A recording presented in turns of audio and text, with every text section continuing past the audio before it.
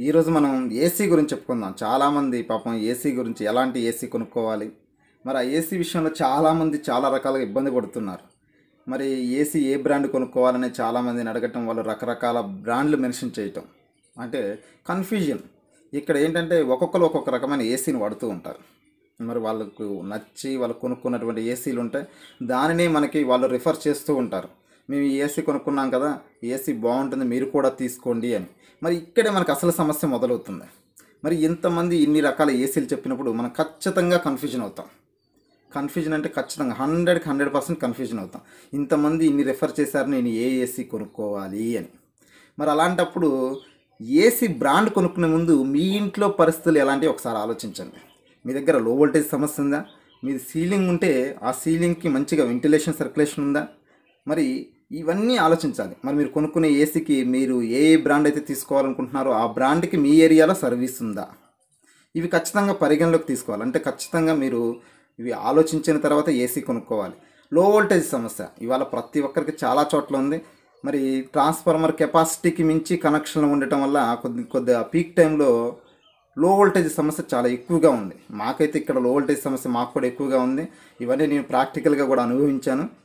మరి లో వోల్టేజ్ సమస్య వచ్చినప్పుడు లో వోల్టేజ్ మనకు దగ్గరలో ఉన్నటువంటి ఎలక్ట్రీషియన్ ఎవరినో పిలిచి మన ఇంట్లో అంటే మ్యాక్సిమం పీక్ టైం అంటే twelve thirty to three thirty four ఆ టైంలో ఇవి లాక్డౌన్ కారణంగా ప్రతి ఒక్కరు ఇంట్లో ఉంటున్నారు కాబట్టి ఫ్యాన్లు ఏసీలు టీవీలు అన్నీ ఆన్లో ఉంటాయి.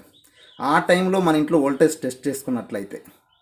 సరే కామన్గా ఎక్కువ వోల్టేజ్ ఉన్న వాళ్ళకైతే అవసరం లేదులే కానీ తక్కువ మనకు వోల్టేజ్ తగ్గుతుంది అని అనిపించినట్లయితే ఖచ్చితంగా వోల్టేజ్ టెస్టింగ్ చేసుకోండి.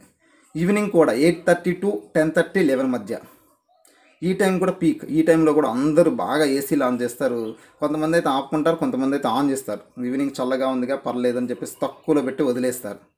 కానీ twelve thirty to three thirty మధ్య మాత్రం పక్కాగా హండ్రెడ్ పర్సెంట్ ఫుల్ లోడ్ ఉంటుంది. ఆ టైంలో కానీ మనం వోల్టేజ్ టెస్ట్ ఇంట్లో చేసుకున్నట్టయితే. ఎవరైతే లోకల్గా ఉన్న ఎలక్ట్రీషియన్ ఉంటారో అతను పిలిచి క్లాంప్ మీటర్ కానీ మల్టీమీటర్ ఉంటుంది వాళ్ళ దగ్గర. ఆ మల్టీమీటర్ పెట్టి ఫేస్ న్యూట్రల్లో పెట్టేసి వోల్టేజ్ చూస్తారు. సహజంగా మనకు టూ ట్వంటీ నుంచి two forty two forty volts వరకు అంటే రెండు వందల ఇరవై నుంచి రెండు వందల నలభై వోల్ట్స్ వరకు ఉంటే ఆ టైంలో కూడా ఖచ్చితంగా మన ఇంట్లో వోల్టేజ్ చాలా బాగున్నట్లు. అప్పుడు మీకు నచ్చినటువంటి బ్రాండ్ తీసుకోండి. ఏ బ్రాండ్ తీసుకోవాలనుకుంటున్నారో ఆ బ్రాండ్ తీసుకునే ముందు మళ్ళీ ఇంకొక విషయం ఆలోచించాలి ఇక్కడే. మరి ఆ బ్రాండ్కి సర్వీస్ ఉందా? మీరున్నటువంటి ఏరియాలో మంచి సర్వీస్ అవైలబుల్ ఉందా? మీరు ఫోన్ చేయగానే దానికి సంబంధించినటువంటి వ్యక్తి సర్వీస్ చేసేటటువంటి వ్యక్తి వచ్చి సర్వీస్ చేస్తాడా? మరి సర్వీస్ చేస్తాడా లేదా అంటే ప్రతి కంపెనీ మనం కొనడానికి పోయినప్పుడు ఖచ్చితంగా ఆ షాపులో అమ్ముకోవడానికి మీకు సర్వీస్ ఉందండి మాది బాధ్యత రెస్పాన్సిబిలిటీ అని చెప్పేసి చాలా రకాల మాటలు చెప్తారు వ్యాపారస్తులు వ్యాపారస్తుల స్టైల్లోనే. మరి అలాంటప్పుడు అలాంటి ఏసీ ఇంకెవరైనా కొన్నారా మన ఏరియాలో? తెలుసుకోవడంలో తప్పులేదు. ఇప్పుడు మనం అందరి అనుభవాలు ఎలా తెలుసుకున్నాము మీరు ఏ ఏ ఏసీ కొంటే బాగుంటుందని వాళ్ళు రకరకాల ఏసీలు ఎలా రిఫర్ చేశారో మరి అలాంటప్పుడు మన ఏరియాలో మనం ఉన్న సర్కిల్లో మీరు విలేజ్లో ఉంటున్నారా సిటీలో ఉన్నా సరే మీ సరౌండింగ్ ప్రాంతంలో ఆ ఏసీ కొన్న వాళ్ళు ఎవరైనా ఉంటే సర్వీస్ ఉందా? ఎలా ఏ విధంగా రెస్పాండ్ అవుతున్నారు? ఒక మాట తెలుసుకోవడంలో తప్పే లేదు. తెలుసుకోవడం వల్ల మీకు దీనివల్ల ఒక మంచి ఉపయోగం కూడా ఉంటుంది. సర్వీస్ ఉన్నట్లయితే ఖచ్చితంగా బాగా వెంటనే స్పందిస్తున్నారు. వెంటనే వచ్చేసి సర్వీస్ చేస్తున్నారు. ఎందుకంటే ఇక్కడ ఏదైనా ప్రాబ్లం వస్తే టీవీయో లేకపోతే కూలరు ఫ్రిడ్జ్ వాషింగ్ మిషన్ అయితే ఏ ఆటోకి వేసుకెళ్ళి సిటీకి వేసి తీసుకెళ్ళేసి లేకపోతే ఆ షాప్లో ఇవ్వటం రిపేర్ చేసి పంపించడం కొన్న కొన్న షాపులో చేస్తూ ఉంటాం. కానీ ఏసీ ఏదైనా ప్రాబ్లం వస్తే ఖచ్చితంగా టెక్నీషియన్ రావాల్సిందే. దాన్ని మనం ఇప్పదీయలేము. ఎందుకంటే వెనక అవుట్డోర్ యూనిట్ ఉంటుంది గ్యాస్ పైపులు కనెక్ట్ చేసి ఉంటాయి. చాలా తతంగా ఉంటుంది. కాబట్టి మన వల్ల అయ్యే పని కానే కాదు. ఖచ్చితంగా టెక్నీషియన్ రావాలి. మరి లోకల్ టెక్నీషియన్ బట్టి చేయించుకుందామంటే కంపెనీ వాడు ఖచ్చితంగా వారంటీ ఇవ్వడు. వారంటీ గ్యారంటీ ఖచ్చితంగా ఇవ్వడు. సీలు పోతే అలాంటి సమయాలలోనే ఖచ్చితంగా ఆలోచించి తీసుకోవాలి. ఇన్ని వేల రూపాయలు డబ్బులు పెట్టి ఏసీ కొంటున్నప్పుడు ఆలోచించే కొనాలి. ఒక్క రోజులో వచ్చే నష్టం ఏమి ఉండదు. ఒకటి రెండు రోజుల్లో. కాబట్టి ఆలోచించి ఏసీ కొనుక్కోవాలి. మరి ఆ బ్రాండ్ని తీసుకోవాలి. తీసుకునే ముందు కూడా మీ ఇంట్లో కూడా సీలింగ్ ఉంటే చాలామంది సీలింగ్ వేయించుకుంటున్నారు. సహజంగా అందరి ఆలోచన ఎలా ఉంటుందంటే సీలింగ్ ఉంటే కూలింగ్ ఉంటుంది అని. ఖచ్చితంగా సీలింగ్ వేసుకుంటే కూలింగ్ ఉండాలి. కొంతమంది సీలింగ్ వేసుకున్నా అయినా కూలింగ్ రావట్లేదు చాలా వేడిగా ఉంటుంది అని. ఇక్కడే ఒక చిన్న మిస్టేక్ జరుగుతుంది. మన స్లాబ్ వేసినప్పుడు స్లాబ్ కింద కొన్ని వెంటిలేషన్ పాయింట్లు పెట్టుకున్నాం ప్రతి రూమ్కి. ఎయిర్ సర్క్యులేషన్ కోసం. రూమ్కి రెండు. ఒకవైపు ఇంకోటి ఇంకోవైపు ఇంకోటి పెట్టుకుంటూ ఉంటాం. ఇక్కడ ఎప్పుడైతే సీలింగ్ వేస్తున్నామో కొంతమంది కన్ఫ్యూజన్లు ఏం చేస్తారంటే అవి క్లోజ్ చేస్తున్నారు. అవి క్లోజ్ చేసినప్పుడు సమ్మర్ టైంలో ఇటువంటి టైంలో బాగా స్లాబ్ హీట్ ఎక్కి ఆ ఆవిరి సీలింగ్కి స్లాబ్కి మధ్య చేరిపోతుంది. మరి సీలింగ్కి స్లాబ్కి మధ్య సుమారు హాఫ్ మీటర్ నుంచి మీటర్ మధ్య మెయింటైన్ చేస్తారు. చేస్తే ఈ గ్యాప్లో ఆవిరి ఉండిపోయి ఎటు పోవాలో తెలియక రూమ్లోకి కిందకి సీలింగ్ బాగా వేడవటం వల్ల ఆ రూమ్ కూడా వేడైపోతుంది. మరి ఇలాంటి సమయంలోనే అవి ఓపెన్ చేసుకోవాలి. ఏమన్నా పురుగు పొట్ట వస్తాయి అనుకుంటే సన్నటి మెస్లేసి నీట్గా రెండు వైపులా పెట్టుకుంటే ఏదైతే ఆవిరి దిగిందో రెండు వైపులా ఎయిర్ సర్క్యులేషన్ ఉంటుంది కాబట్టి బయటికి వెళ్ళిపోతుంది. సీలింగ్ చల్లబడుతుంది. రూమ్ తొందరగా కూల్ అవుతుంది. ఈ కూల్ అవటం వల్ల ప్లస్ పాయింట్ ఏంటంటే ఏసీ ఎక్కువసేపు రన్ చేయాల్సిన అవసరం ఉండదు. తొందరగా మామూలుగా ఇలా సీలింగ్ క్లోజ్ చేసి ఆ వెంటిలేషన్ క్లోజ్ చేస్తున్నట్టయితే మూడు నాలుగు గంటలు ఏసీ ఆన్ చేయాలి. మళ్ళీ ఏసీ ఆవిరి పదిహేను నిమిషాల్లో మళ్ళీ రూమ్ వేడి అయిపోతూ ఉంటుంది. ఎందుకంటే ఆల్రెడీ ఈ సీలింగ్లో ఆవిరి ఉండటం వల్ల వేడి ఆవిరి ఉండటం వల్ల. కాబట్టి దయచేసి వెంటిలేషన్ ఓపెన్ చేసుకోండి. ఎవరైతే క్లోజ్ చేసుకున్న వాళ్ళు ఉన్నట్లయితే. అంతేకాకుండా లో వోల్టేజ్ సమస్య వల్ల కూడా మీకు పవర్ బిల్ చాలా ఎక్కువ వస్తుందండి. హండ్రెడ్ పర్సెంట్ చెప్పగలను నేను. ఏసీ ఆన్ అయి ఆఫ్ అయి ఆన్ అయి ఆఫ్ అయి అవ్వటం వల్ల ప్రతిసారి ఏసీ స్టార్టింగ్లో ఎక్కువ స్థాయిలో కరెంటుని డ్రా చేస్తూ ఉంటుంది. అంటే ఎక్కువ స్థాయిలో కరెంటుని తీసుకుంటుంది? తీసుకున్న ప్రతిసారి ఎక్కువగా కరెంటు ఖర్చు అవుతూ ఉంటుంది.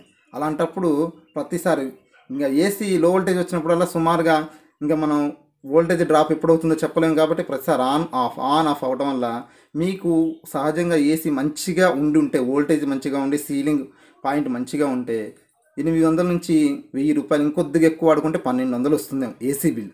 కానీ ఇవేమీ లేకపోవటం వల్ల లో వోల్టేజ్ ఒకటి సీలింగ్ మెయింటెనెన్స్ సరిగా లేకపోవడం వల్ల మూడు వేల నుంచి నాలుగు వేల రూపాయలు కూడా వచ్చే అవకాశం ఉంటుంది కరెంటు బిల్లు దయచేసి ఇవి పాటించండి.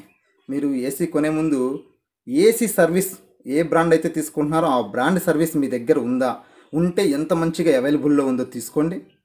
ప్లస్ మీ ఇంట్లో ఉన్నటువంటి వోల్టేజ్ టెస్ట్ చేయించుకోండి లోకల్ టెక్నీషియన్ ద్వారా. మరి ఎంత వోల్టేజ్ వస్తుంది? వోల్టేజ్ ఏమైనా ఒక టెన్ వోల్ట్స్ ట్వంటీ వోల్ట్స్ తగ్గితే ఎలాంటి స్టెబిలైజర్ తీసుకోవాలి? మరి ఫార్టీ ఫిఫ్టీ వోల్ట్స్ తగ్గితే ఏం చేయలేం కానీ ట్వంటీ థర్టీ అంటే ఒక ట్వంటీ థర్టీ వోల్ట్స్ మధ్య ఉంటే స్టెబిలైజర్లు తీసుకోవచ్చు ఇవాళ. డబల్ స్టెబిలైజర్లు అని చాలా రకాల మార్కెట్లోకి చాలా అవైలబుల్గా ఉన్నాయి. స్టెబిలైజర్లు తీసుకొని పెట్టుకోవచ్చు స్టెబిలైజర్. ఏసీకి మ్యాండేటరీ స్టెబిలైజర్ అనేది ఖచ్చితంగా ఏసీ ఖచ్చితంగా స్టెబిలైజర్ వాడాలి. అది వోల్టేజ్ డ్రాప్ ఉన్నా లేకపోయినా స్టెబిలైజర్ ఖచ్చితంగా వాడాలి. ఇలా అన్నీ మెయింటైన్ చేస్తే మనకు పవర్ బిల్ చాలా తక్కువ వస్తుంది.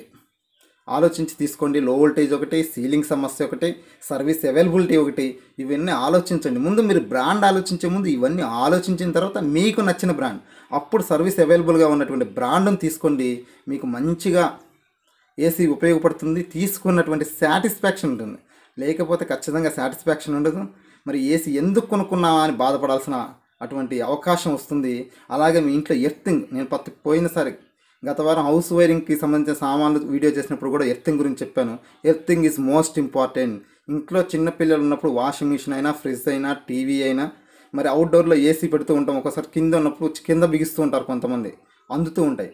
ఖచ్చితమైన షాక్లు. ఖచ్చితంగా హండ్రెడ్ పర్సెంట్ షాక్ కొడుతూ ఉంటాయి దయచేసి earthing point is main important. మీరు ఏమి కొన్నా కొనకపోయినా ఇంట్లో పవర్ ఉంది అంటే ఎర్తింగ్ అనేది చాలా ఇంపార్టెంట్. ఎర్తింగ్ వేయండి. ఎర్తింగ్ లేకుండా మాత్రం అస్సలు సమస్య లేదు. ఇంట్లో ఎటువంటి ఎలక్ట్రానిక్స్ ఎక్విప్మెంట్ కానీ ఎలక్ట్రికల్ ఎక్విప్మెంట్స్ కానీ వాడొద్దు. మీరు ప్రతిసారి కూడా అవసరమైతే మీకు తెలిసిన లోకల్ ఎలక్ట్రిషియన్ పెట్టేసి ఈ ఎర్తింగ్ టెస్ట్ కూడా చేసుకోండి. అంటే మీరు ఎర్తింగ్ వేసి వదిలిపెట్టినంత మాత్రాన ఎర్తింగ్ వస్తుందిలే హ్యాపీగా ఉందనుకుంటే పొరపాటే. ఒక్కోసారి ఎర్త్ ఫెయిల్ అయ్యేటటువంటి అవకాశం ఉంటుంది. కాబట్టి ఖచ్చితంగా అప్పుడప్పుడు ఎర్తింగ్ టెస్ట్ కూడా చేసుకోండి. ఎవ్రీ నాకు తెలిసినంత వరకు అయితే ఖచ్చితంగా త్రీ మంత్స్కి ఒకసారి ఎర్తింగ్ టెస్ట్ చేసుకోవడం చాలా మంచిది చాలా మంచి పని కూడా. నేను ఏసీల గురించి నాకు తెలిసిన సమాచారం నేను అందించాను. ఇంకా ఏదైనా మీకు సమాచారం కావాలి అనిపిస్తే తెలుసుకోవాలనే మీకు ఆలోచన ఉండి మేము ఇది తీసుకుంటున్నాం. దాని గురించి మాకు పూర్తిగా ఇన్ఫర్మేషన్ కావాలంటే నా కింద కామెంట్ బాక్స్లో కామెంట్ చేయండి. నాకు తెలిసినటువంటి సమాచారం పూర్తి స్థాయిలో ఇన్ఫర్మేషన్ మీకు అందజేస్తాను. ప్రతి ఒక్కరికి తెలియజేస్తాను. అంటే మీకు ఏదైతే కావాలో నా కింద కామెంట్ బాక్స్లో కామెంట్ చేస్తే ఖచ్చితంగా నేను అందిస్తాను మీకు ఆ సమాచారం మేరకు. అలాగే చాలామంది అడుగుతున్నారు తమ్ముడు నువ్వు వీడియో ఎడిటింగ్ చెయ్యి అని. మరి నువ్వు న్యాచురల్గానే వీడియో పెట్టేస్తున్నావు ఏదో మాట్లాడుతున్నా పెడుతున్నా చాలా సింపుల్గా ఉంటుంది. వీడియో ఎడిటింగ్ చేయి బ్యాక్గ్రౌండ్ కూడా నువ్వేదో మీ ఇంట్లో చేస్తూ పెడుతున్నట్టు ఉంటుంది అని. ఖచ్చితంగా నేను మా ఇంట్లోనే వీడియో చేస్తున్నా అన్న. అందులో ఎటువంటి డౌట్ లేదు. అడిగినటువంటి తమ్ముళ్ళు కూడా కొంతమంది ఉన్నారు. అన్న నువ్వు ఇలా చేస్తున్నావు ఇలా కాదు వీడియో ఎడిటింగ్ చెయ్యి అని. వాళ్ళ ఉద్దేశం ఏంటంటే ఖచ్చితంగా నన్ను అభిమానించే వాళ్ళు ఇష్టపడే వాళ్ళు పాపం వాళ్ళ సజెషన్ ఏంటంటే నేను ఇంకా ఇంప్రూవ్ అవ్వాలి ఇంకా ముందుకు వెళ్ళాలి అనే ఉద్దేశంతో. ఎందుకంటే వాళ్ళు చెప్తున్నది ఏంటంటే అన్న ఈ విధంగా చేస్తే సబ్స్క్రైబర్స్ పెరగరు. ఇవాళ ఉన్న ప్రపంచంలో అంతా త్రీ డీ ఫైవ్ డీ అయిపోయింది. అంతా కంప్యూటర్ జనరేషన్ అయిపోయింది. ఆ విధంగా వెనక మంచి బ్యాక్గ్రౌండ్ ఎడిటింగ్ ఉంటేనే చూసేవాళ్ళు చూస్తున్నారు వీడియో. సబ్స్క్రైబర్స్ అయినా పెరుగుతున్నారు అని. నువ్వు చెప్పే మ్యాటర్లో దమ్మున్నా ఎవరు వినరన్నా కేవలం వీడియో ఎడిటింగ్ దానికి బ్యాక్గ్రౌండ్ మంచిగా ఉండాలి మంచి స్థాయిలో వీడియో ఎడిటింగ్ చేయాలి అప్పుడే జనాలు సబ్స్క్రైబ్ చేస్తారు అని. అయితే నేను ఒక్కటే చెప్తున్నా నాకు తెలిసినటువంటి సమాచారం పది మందికి తెలియాలి. అంటే థీరీ భాషలో చెప్పుకుంటూ పోతే ప్రతి ఒక్కళ్ళు చాలా ఇబ్బంది పడుతున్నారు. ప్రతి ఒక్క సామాన్యుడికి అర్థం కావాలి. ఇప్పుడు సాదాసీదా కూలి దగ్గర నుంచి పెద్ద స్థాయిలో ఉన్న వరకు కొంతమంది బిజినెస్లు చేసే వాళ్ళు ఉంటారు కొంతమంది దీనిలో బాగా నిపుణులు ఉంటారు. వాళ్ళకి తెలుస్తుంది కానీ కింది స్థాయిలో వ్యక్తులకు తెలియదు. మరి అలాంటి వ్యక్తులకు తెలియాలి అంటే తీరీ భాషలో అర్థం కాదు కాబట్టి నాకు తెలిసిన భాషలో వాళ్ళకి ఖచ్చితంగా అర్థం కావాలి. ఈ మధ్య కొంతమంది హౌస్ వైరింగ్ పోయిన వారం హౌస్ వైరింగ్ గురించి చేసినప్పుడు చాలామంది ఫోన్ కూడా చేశారు. ఖచ్చితంగా మీరు ఎప్పుడు ఫోన్ చేసినా నేను రెస్పాండ్ అవుతాను. ఎందుకంటే అది నా బాధ్యత. నేను ఎందుకంటే సామాన్యులకే అర్థం కావాలి. వీటి గురించి హౌస్ వైరింగ్ మెటీరియల్ గురించి కానీ ఎలక్ట్రికల్ మెటీరియల్స్ గురించి కానీ ప్రతి ఒక్కరికి తెలియాలి. మోసపోకూడదు. అది నా ఉద్దేశం. అందుకే నేను వీడియో నాకు ఎడిటింగ్ చేయాలన్న ఉద్దేశం అయితే లేదు. సరే ముందు ముందు ఆలోచిద్దాం. మరి ముందు ముందు పరిస్థితులు ఎలా ఉంటాయో దాన్ని బట్టి అడిగేద్దాం. ఖచ్చితంగా మీ అందరు నా మంచి కోరుకుంటున్నారు కాబట్టి మీకోసమైనా ప్రయత్నం చేస్తా కానీ ఇప్పుడైతే ఆ ఆలోచన లేదు. సరే ఇంకా కొద్దిగా టైం ఉంది. చూద్దాం.